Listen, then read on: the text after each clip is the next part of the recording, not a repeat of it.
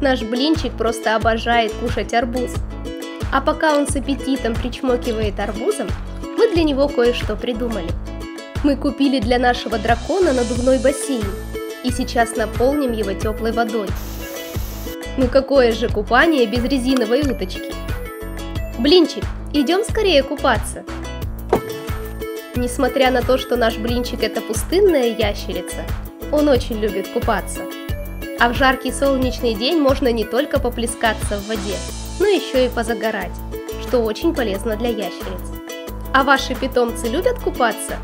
Расскажите в комментариях.